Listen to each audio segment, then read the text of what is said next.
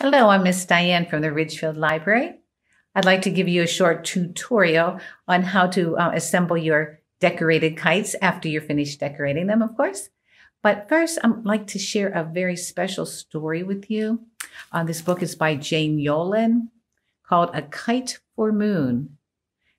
And it's about a little boy who wants to reach the moon and he can't but he tries to send messages on kites and send to the moon. And at the end of the story, he is successful in a way. So I hope you enjoy the story. I hope you enjoy assembling your kites. And here we go. A Kite for Moon, written by Jane Yolen and her daughter Heidi Stemple, and illustrated by Matt Phelan. This book was written for Neil Armstrong, who showed us the way.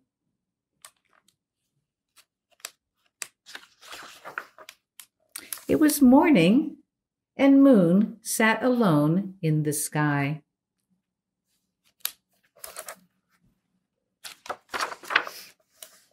The stars were all abed.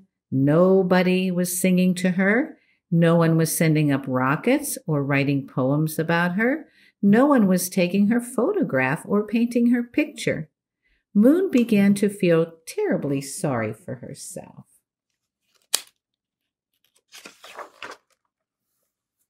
Down below, a very small boy flying his kite on the beach near his house looked up at the moon.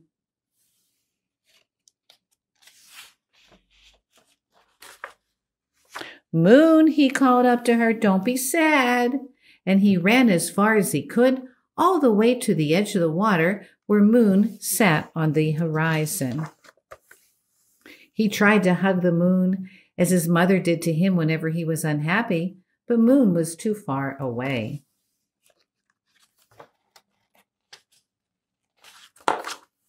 So he wrote on his kite, promising to come someday for a visit. Then he let go of his kite, sending it up up for moon.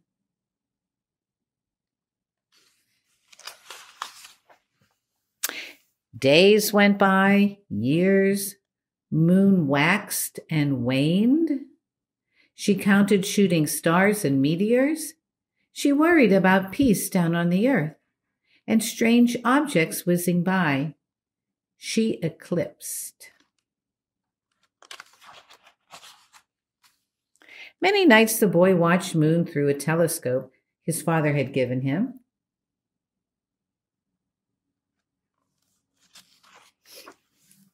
And many days he sent up a new kite for Moon red kites and blue kites and green kites, yellow. Some fell back to earth and some disappeared into the sky.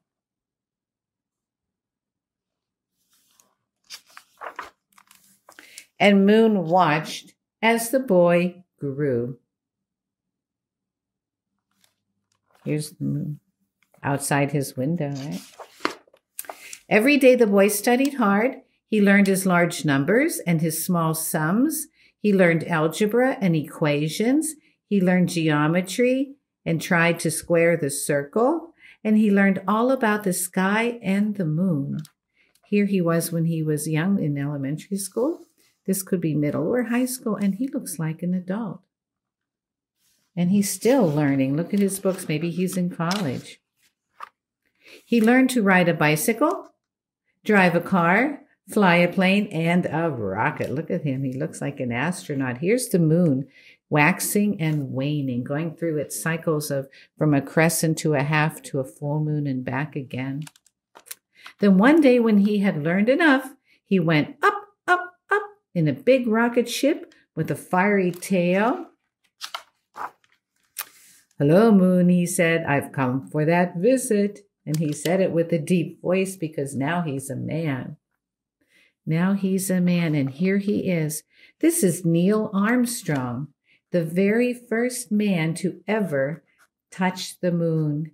And he touched the moon and he walked on the moon and the whole world watched. So that little girl is watching when there was a moon landing 52 years ago in 1969. And in 1969, I was watching Neil Armstrong on my TV come out of the spaceship and walk on the moon. It was the most exciting time, and that's why this was dedicated to Neil Armstrong, who showed us the way. He helped us learn the way to reach the moon. And that was his dream. I'm not sure if he sent kites to the moon, but it's a wonderful story. Okay, let's assemble this kite. Look at your parts. Carefully unroll things so you don't lose any of the, the parts as you unroll them. These rods are called spars. There are two short ones, one long one. The long one has a little black dot on it, you'll notice. That'll be important in a minute. This yellow piece is called a fitting. It gives your, it's going to contribute to giving your kite really good shape for flying. A circle, a little circle. Some special tape. There's four pieces. Well, there's five pieces. I think you'll only need four. The handle with the string for flying and the tail. Oops, what did I forget? I forgot the part that you need to decorate.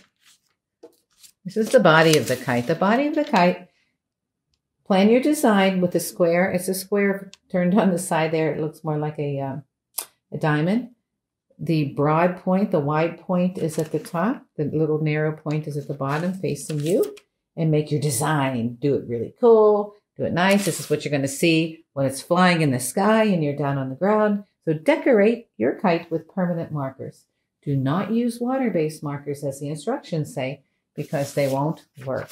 They have to be permanent markers. Now, I mentioned instruction book. The instruction book is important. After you make your kite, if you follow my directions, you still have to read it. You have to read their safety instructions towards the back. Very, very important safety instructions, okay? Okay, let's get started. So you've decorated your kite and it looks really cool. We'll put that aside for a moment. You're going to take your long spar, your long rod, the long one with that has that black dot. See the black dot on mine? You're going to take this little circle and put it at the top. You're going to take this fitting, it's called a fitting, and put that on the rod in the middle. I think it's a little easier if this faces down, not that's up, but if it faces down. Then you're going to need a little muscle. You're going to pull that ring right up over the fitting and over the tip of the spar. I didn't get it the first time. I'm going to do it again. See that? It's nice and tight. After you get that on your spar, you're going to slide it down to the dot. And that's where it stays. Okay? All right, bring back your gorgeously decorated body of your kite. We're going to be working on what's the back. The beautiful decorated part is underneath. It's touching the table, it's facing the table.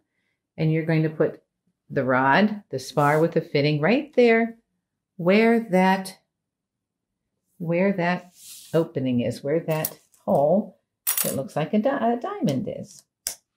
You'll take one of the small spars fit it into the fitting, fit it into the, one of the holes on this side. I don't know. I am not using that special tape that you have because I want to reuse this. I want to give this to a child to make at home.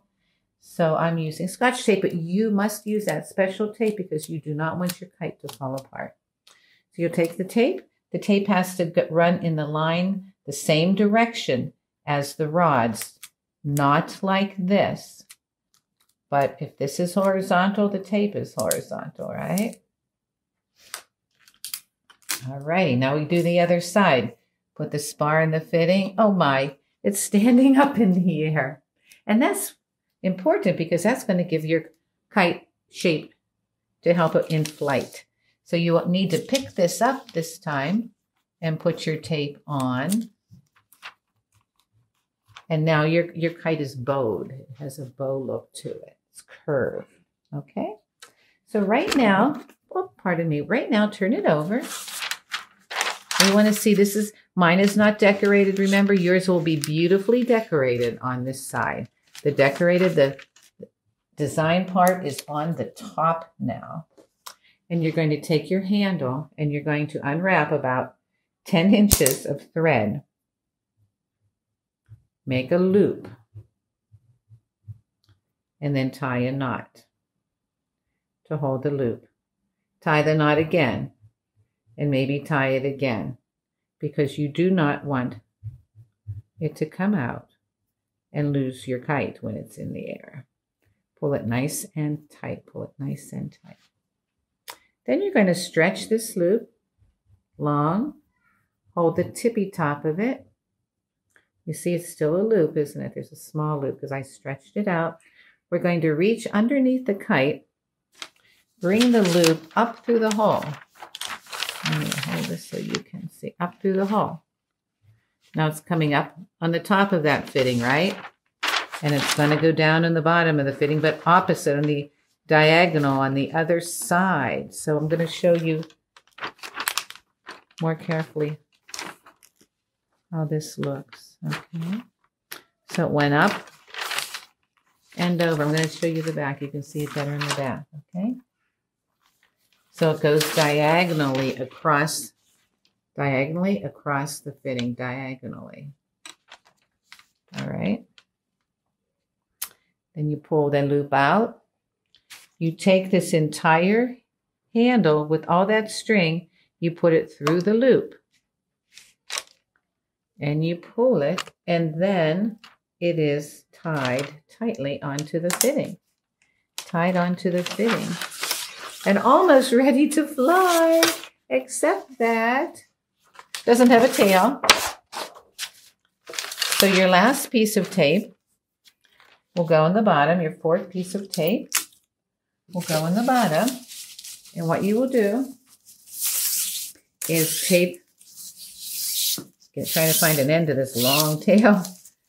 You will tape the tail along with that last rod to the bottom. And the tape is going in the same direction as the rod. Let me make sure you can see that. There we go, okay? Now go all around your kite. Push the tape down here. Push the tape down on the other points. Push it down over here. Make sure it's pushed down really well here and at the top. And it should be good and strong and ready for you to take outside on a windy day. Now, if it's not a windy day the day you make this, and if it's not a windy day the next day, you may want to go to the beach because there's usually a pretty strong wind if you go to the beach. So enjoy your kite, take a picture of it, send it to us at the library. Um, I can't wait to see it, even bring one in in person when you visit if you'd like. But have a great time flying and best of luck. I was told these are guaranteed to fly. so I know you can do it if you try. Thank you, and thank you for making the kite with me today. Bye bye.